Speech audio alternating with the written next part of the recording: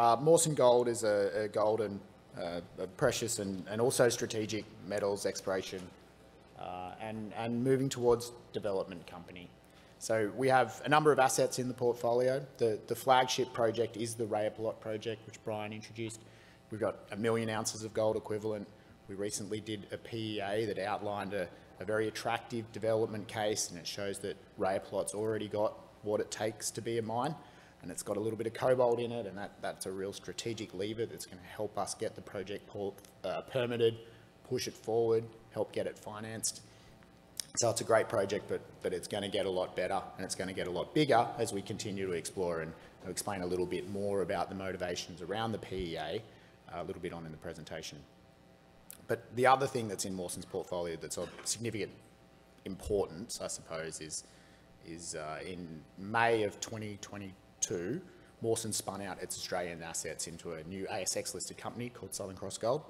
Uh, they raised a little bit of money down there as part of the IPO, and then they've just raised some more money, and Mawson now owns 51% of that. Southern Cross is a fantastic discovery. They continued on the discovery that Mawson made. It's been a very, uh, very successful capital market story.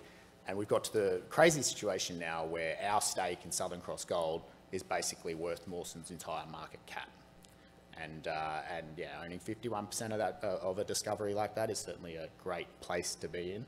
Um, and and, and, and the, the opportunity in Mawson is that you've got multi-asset exploration portfolio, which is, which is asset-backed. And, and I suppose that's what this slide is trying to explain, is that through the value of our shares, uh, through cash and shares in Southern Cross, that's the value of Mawson's market cap.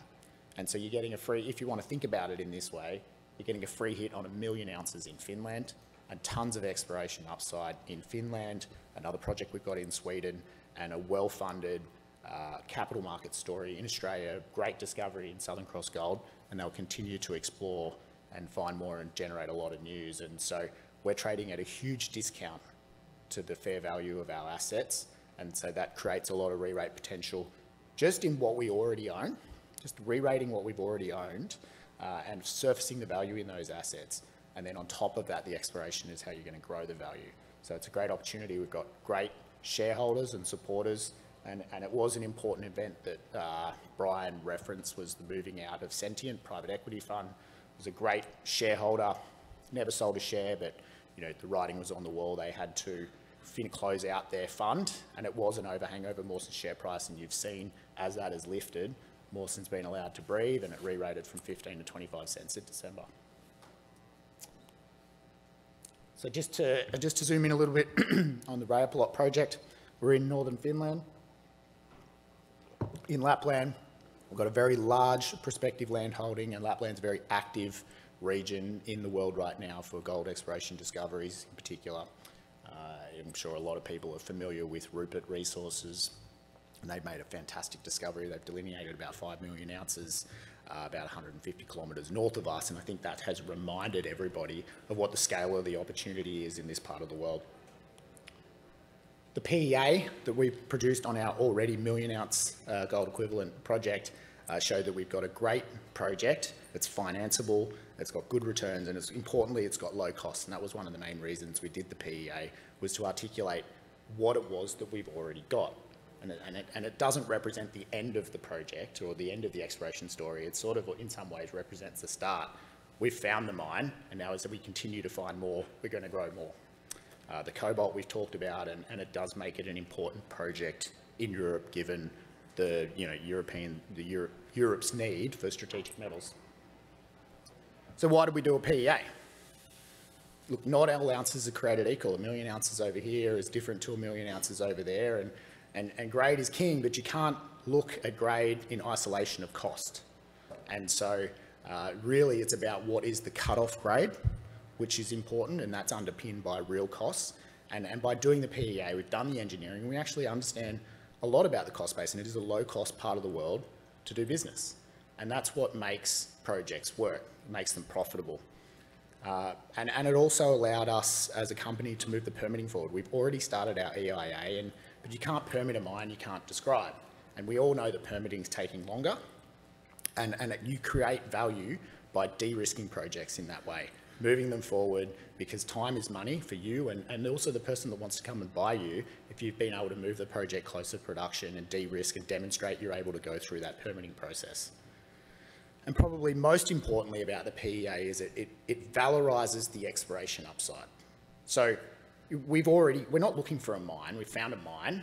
Now what we're doing, looking is to grow value in that, in that mine and, and, and through adding ounces, we can now express that in terms of real value, in terms of an NPV, and you say you want to put X million dollars into exploration, you'll find Y ounces, and your return on capital through uh, through value of a real value accretive in the project uh, is, is, is Z, and, and that's a compelling investment opportunity to make to sophisticated investors. And uh, and and you you you get non-linear returns as well. Once you've got a project that's underpinned, you add add ounces, you can you know make the project 50% bigger and it'll be worth twice as much. And so when you're viewing opportunities, you look at other companies, and Brian talked about, you know, valuing exploration companies is difficult. Uh, and so having engineering to understand, well, what is really the cut-off grade? What is a credible development path here? And then you can really start to get your handle on what's the value of the project. So resource growth potential opportunity at Rajapalot is huge.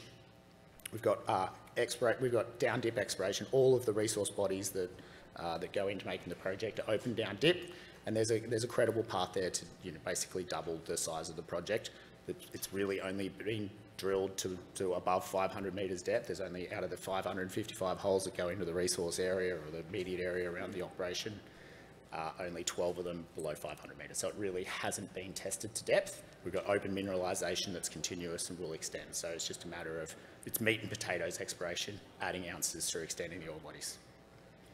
But stepping out on the regional scale is huge potential. So the original discovery at Mawson, oh, go back. The original discovery at Mawson, in fact, was over at Rompus on this Rompus trend.